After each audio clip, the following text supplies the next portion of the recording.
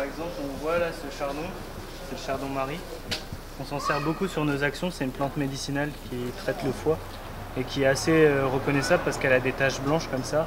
Et c'est un peu une sorte de signature, on essaye d'en mettre sur toutes Ouais. les actions. Et euh, elle est assez, euh, elle est pas très répandue. Et là, par exemple, on voit une autre plante.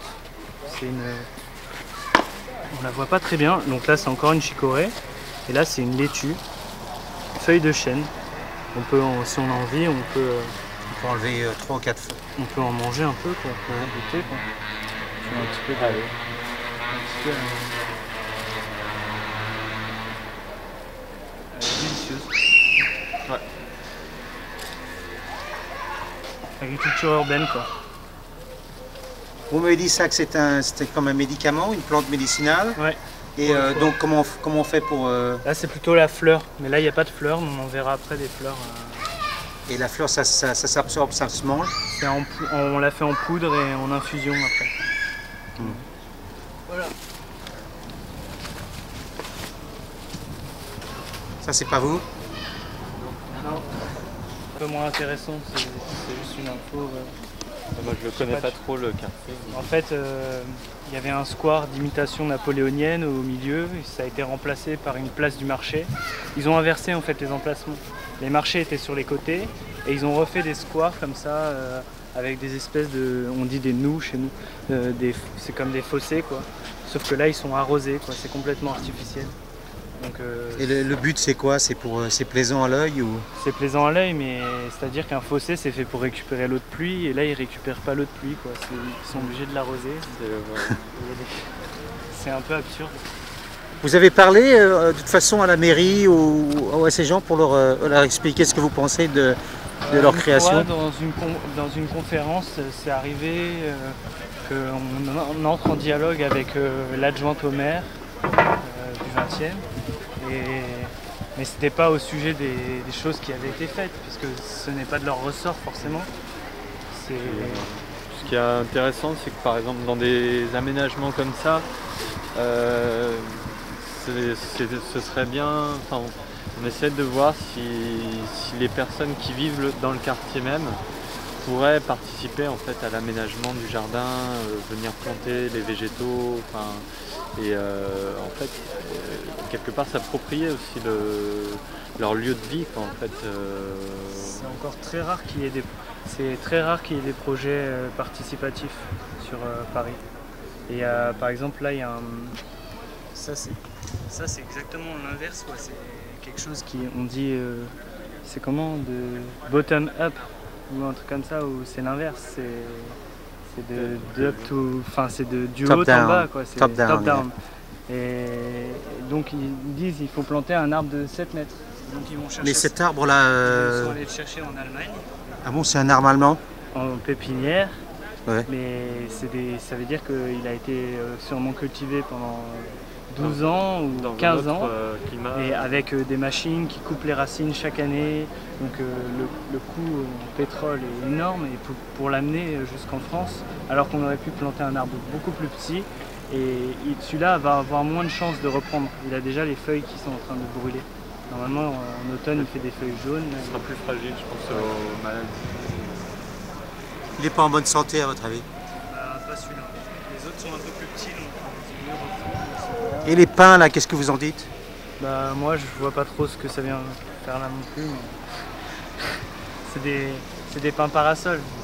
C'est des pins parasols. C'est méditerranéen. euh, Bah, bah, après, c'est aussi. euh, c'est, c'est sur un autre point, mais c'est le, le pied des arbres en fait, où euh, cette, euh, ce sacro-saint euh, envie de mettre des, des plaques en acier euh, Ouais. au pied euh, pour éviter toute pousse de mauvaises herbes, si on peut dire mauvaises herbes. mais- là ils ont carrément C'est- bouché les trous. Il n'y a, il y a rien là qui peut pousser. C'est, euh, C'est, c'est de l'incarcération euh, horizon- Mais comment ils font pour arroser cet arbre-là Bah ils arrosent par là, mais Il y a un drain en fait euh, qui fait le tour de la motte euh, de l'arbre.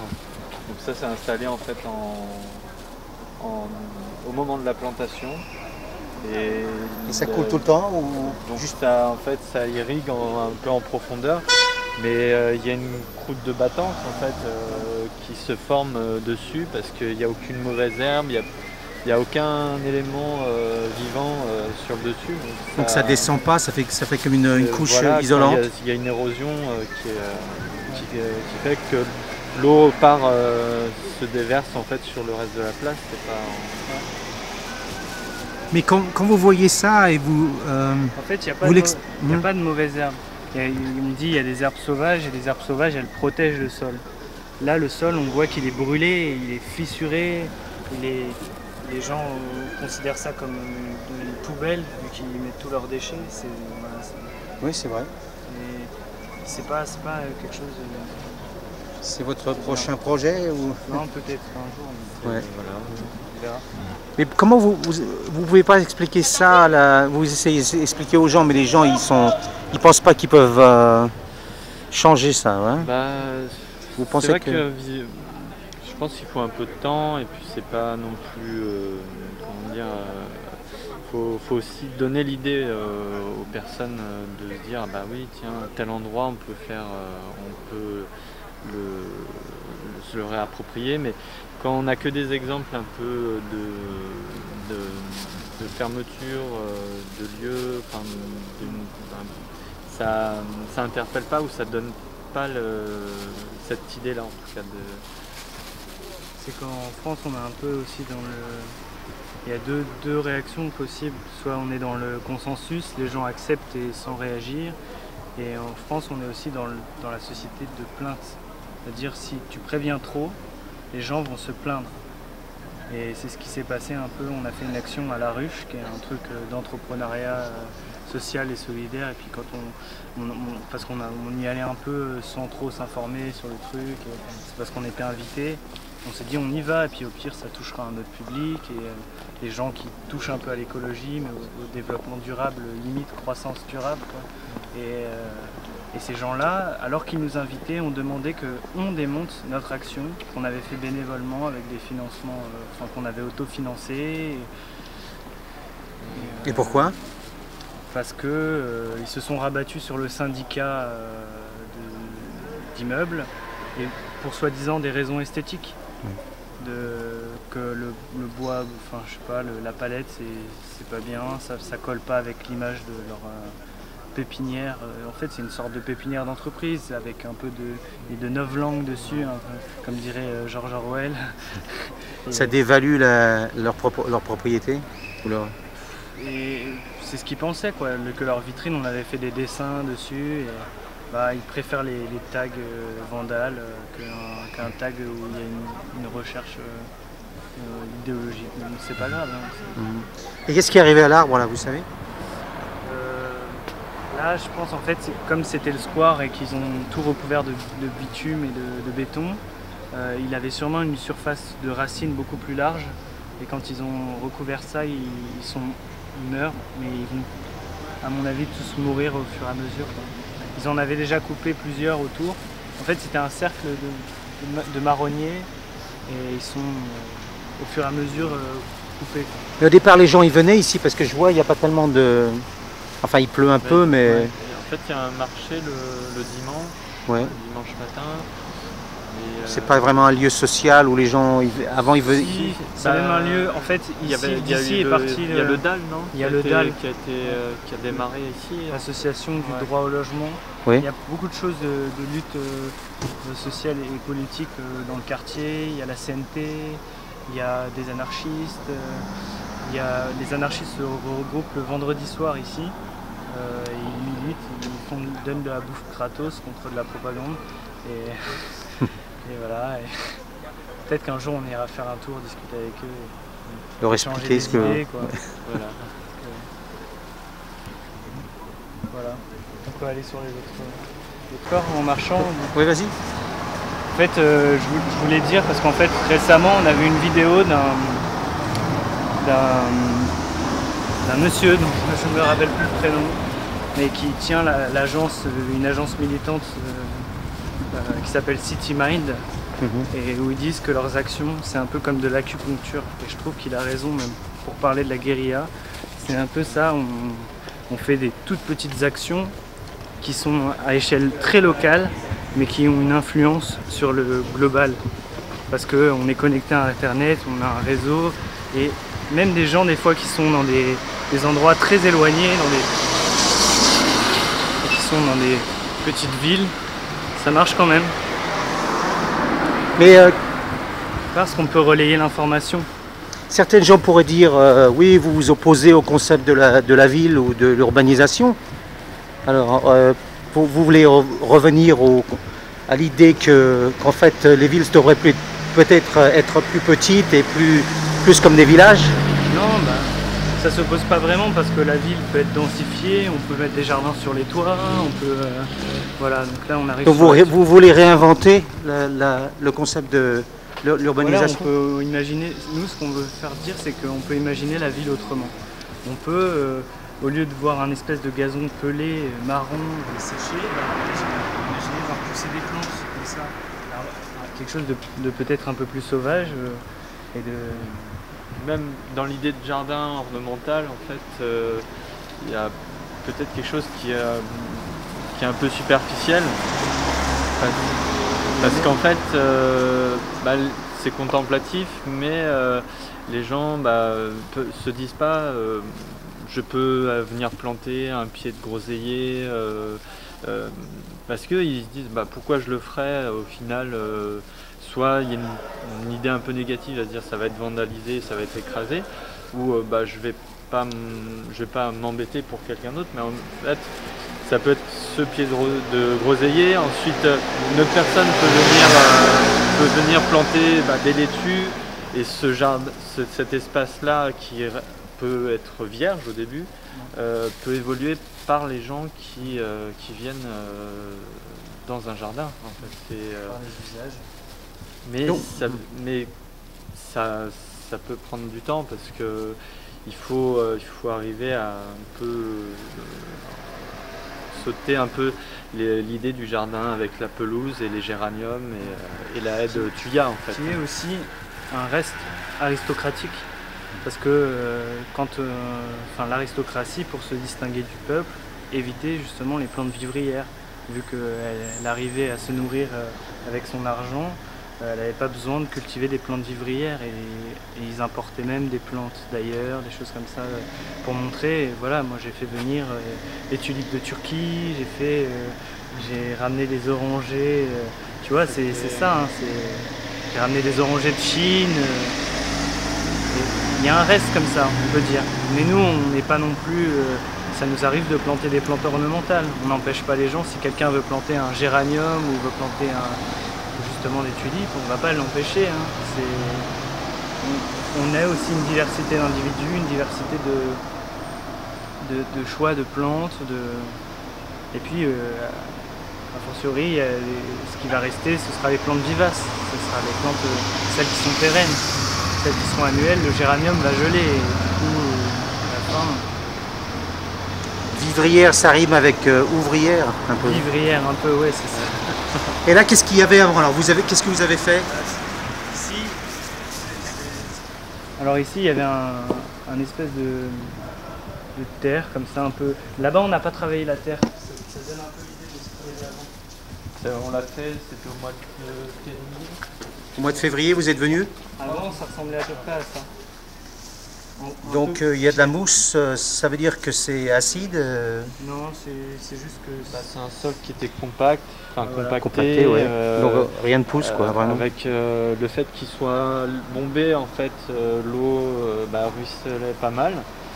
Et il fallait retravailler un petit peu le sol pour, pour en fait permettre de, démarrer des semis en fait à les racines s'enfoncent plus facilement et qu'il y a un effet un peu plus important dès le début. Et alors, qu'est-ce que vous avez planté là? Bah, On va mettre les étiquettes. Ah bah, on va, les lire en même temps, c'est ici. C'est ici. c'est ça les cantines populaires. Ah ouais, c'est les anarchistes? Euh, Ouais, je pense. Vous vous nourrissez les, jardins, ils nourrissent les gens.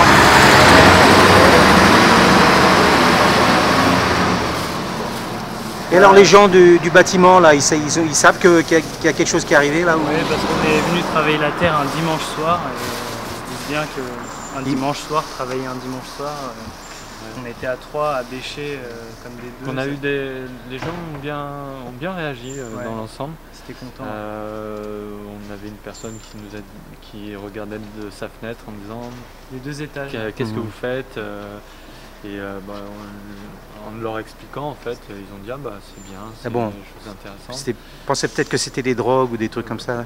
Pas non, mais, mais c'est. Oui, c'est assez étonnant. Ça, les gens sont un peu dubitatifs en se disant est-ce que c'est de la, du vandalisme ou comment on peut considérer ça? Parce Ouais. qu'on l'a jamais vu en fait. Ouais. De, des gens qui arrivent avec des bêches euh, sur un terrain. euh, euh, C'est une forme de squat. et voilà. Ouais. Mais, une forme de euh, micro-squat. On a- Il y avait une personne en passant euh, qui a dit, euh, qui avait dit, ah c'est une, copro- c'est une copropriété euh, active, euh, enfin, euh, en pensant qu'on venait de l'immeuble euh, même. Ils avaient besoin d'une explication. Voilà, voilà. ça- c'est Alors intéressant. nous, on aurait pu leur dire, mais vous savez, les squats de terre, ça date du XVIIe siècle. Ouais. C'est à l'étincelle du capitalisme Ouais. en Angleterre, quand il y avait des enclosures et que les, les petites entreprises ont commencé à fermer les terres. Il y a eu les, diggers, et notamment Gérard Winstanley qui est venu casser euh, ces barrières. La plupart ont été tués pour ça. La, plupart ont été, euh, ont été massacrés parce qu'ils cultivaient des jardins pour se nourrir. Il y a eu une grande famille, une grande famine à cause de ça.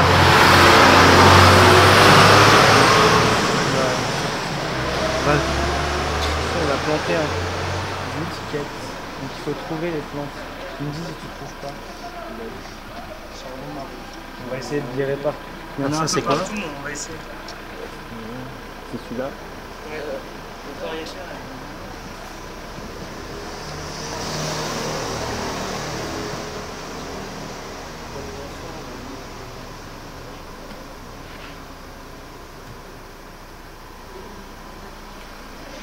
Et la plupart de ces plantes se mangent là ou sont médi- médicales? Oui, voilà.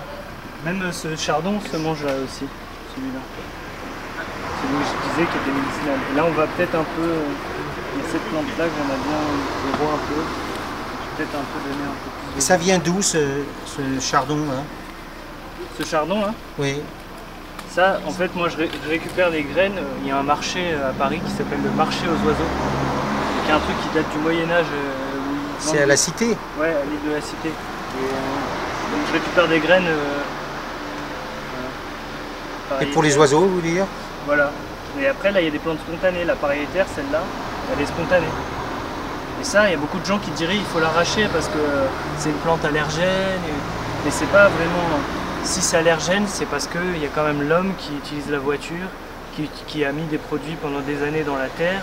Et s'il n'y avait pas ces produits, les plantes seraient moins, moins allergènes. Les Mm. plantes sont allergènes aussi parce qu'elles utilisent des substances qui sont dans le sol. Et, euh, du coup, c'est quand même l'homme qui est responsable. Euh, Il peut y avoir une accumulation de, de métaux ou, euh, de différents produits et bah, certaines plantes peuvent les stocker en fait, un peu. un peu Vous pensez que dans cette terre, il y a, il y a beaucoup de, de- de pol- de polluants qui, qui sont accumulés Mm, à travers pense, les âges? Je pense, enfin, il y a aussi des, des gens qui font de la recherche en ce moment sur tout ce qui est mycorémédiation, c'est-à-dire euh, par les champignons, et biorémédiation par les bactéries. Les plantes aussi dépolluent à leur manière vu qu'elles prennent une partie des polluants. Et c'est encore assez mal connu en fait, toutes ces, ces choses-là sont, sont mal connues. Et moi personnellement, je, pré- je préfère consommer euh, une plante qui a poussé en ville, euh, je sais qu'on n'a pas mis de produit dedans- dessus, qu'une pomme dont on a fait 20 traitements et, euh, et- et voilà, et qui ne s'est pas maîtrisé. Et, et on, on risque vraiment d'avoir un cancer ou quelque chose comme de ce type-là. Donc, vous avez, combien de variétés là Au moins 6 ou 7 On a, on a plus, hein. j'ai pas tout répertorié. Il y a le sarrasin que j'ai oublié là, avec les fleurs blanches. Celui qui est grand là, Le sarrasin, j'ai oublié la pimprenelle qui est là. Si on goûte la feuille, en fait, elle a un goût de, de concombre. Ah bon? Goûtez, euh, euh, voilà, je vais rajouter. euh, Le sarrasin, c'est celui qui est grand là-bas Les fleurs blanches. Donc là, les gens sont partis en vacances, à mon avis, donc c'est ça qui est. Ils n'ont pas besoin de beaucoup de- d'arrosage, c'est toutes ces plantes? Bah, c'est des- la plupart sont des plantes sauvages. Ce sont des plantes qu'on trouve à l'état sauvage. Même les laitues, il y a des formes de laitues qu'on trouve à l'état sauvage. Donc euh, la maintenance est très euh, limitée. Voilà, c'est ça. C'est-à-dire qu'en fait, en hiver, tout va se tasser, va tomber, et puis il y a d'autres choses qui vont pousser euh, à travers. quoi. Ça repousse pas l'année prochaine? Si, si, ça repousse. Certaines vont pouvoir se ressemer en fait. Ouais, se ressemer. Ou... Il y en a qui sont vivaces.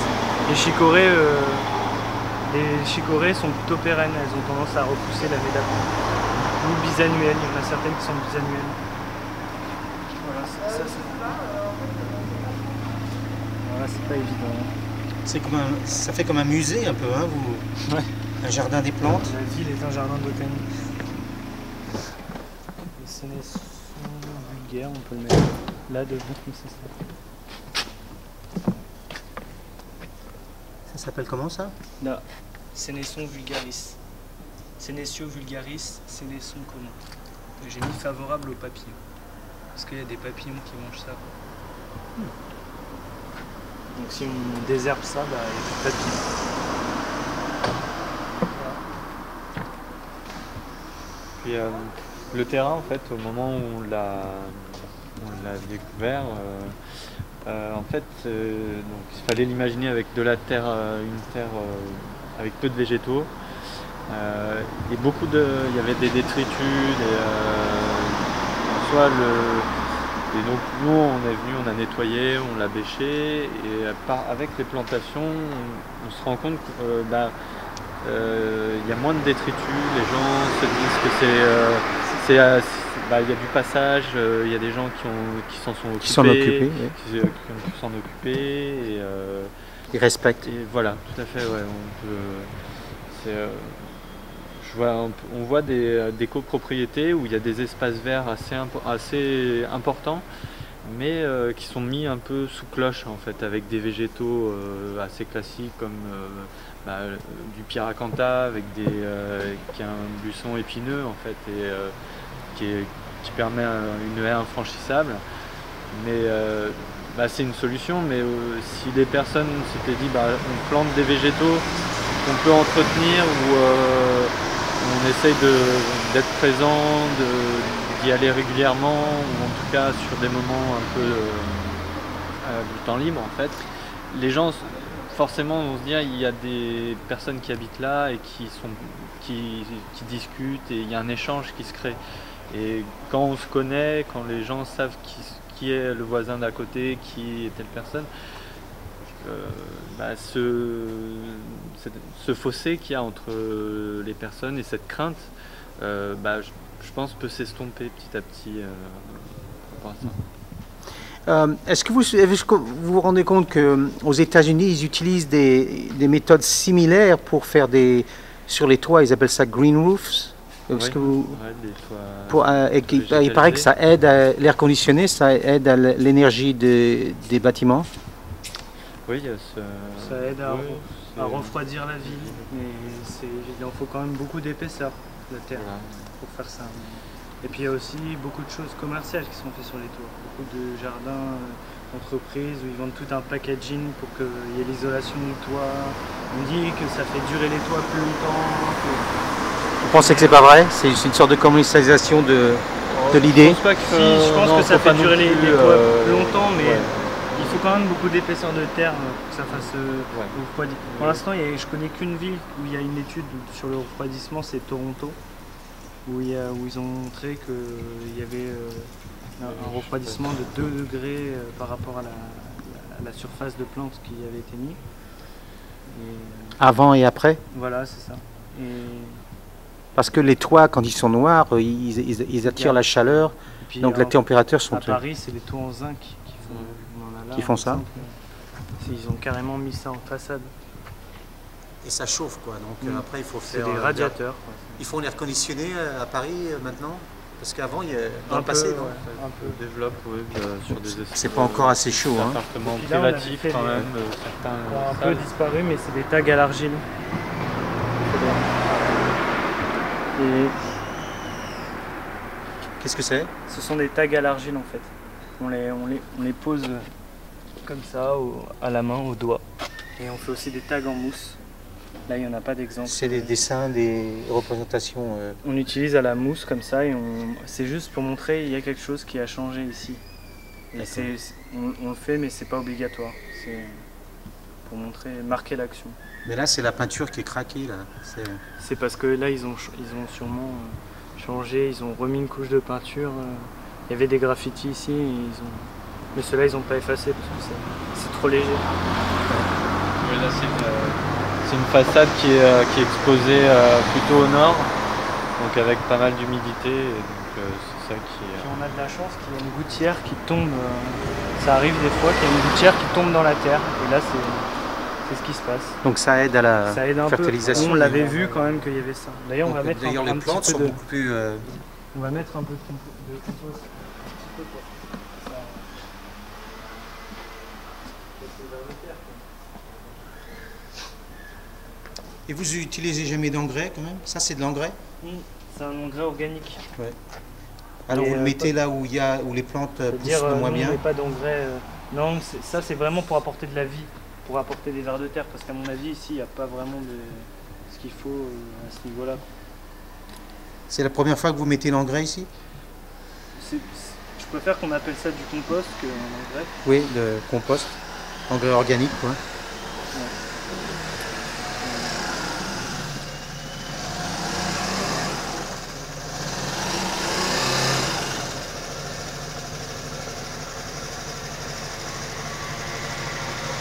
Je vais en garder essentiellement pour le- la- la-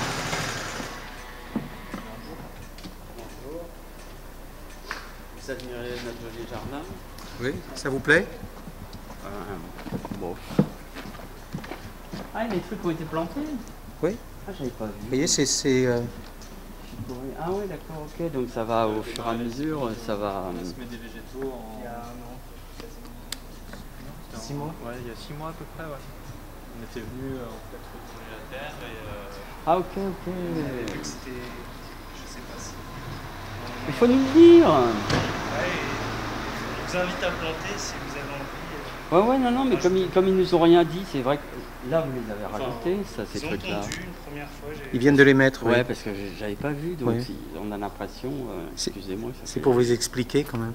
Qu'est-ce qu'ils ont fait encore, mais j'ai pas fait assez d'étiquettes. Par Non, exemple, il y a de la luzerne, euh, il y a du sarrasin, il y a, il y a plein de choses. Mais... Parce que si, moi, ça fait 6 ans que je suis là, j'ai tellement l'habitude de voir une espèce de. mauvaise herbe. C'est une amélioration pour vous Pardon C'est une amélioration pour vous Depuis le temps qu'on attendait ça, qu'ils nous fassent enfin quelque chose et qu'on ne serve pas uniquement à, comment, à faire pisser les chiens. D'ailleurs, depuis qu'on a fait ça, moins de... il y a moins de déchets quand même. Moi, je repasse souvent enlever quelques trucs, mais euh, Bah, quand c'est un espèce genre terrain vague, les, les gens ils se sentent pas. euh, avant, ça ressemblait un peu à ce qu'il y avait au fond. Oui, c'est Parce ça. qu'on n'a pas travaillé la terre là-bas, on a laissé un test pour, pour montrer aussi un peu. Voilà, ça c'est un peu av- après avant, c'était comme ça. Non, non, mais il faut, faut qu'ils nous le disent. Il faut qu'ils nous fassent un petit panneau en disant voilà, il y a des choses qui ont été faites, tout. euh. Un petit peu, ouais. Bon, bah, Je ne pense pas toujours. bonne continuation. Merci beaucoup.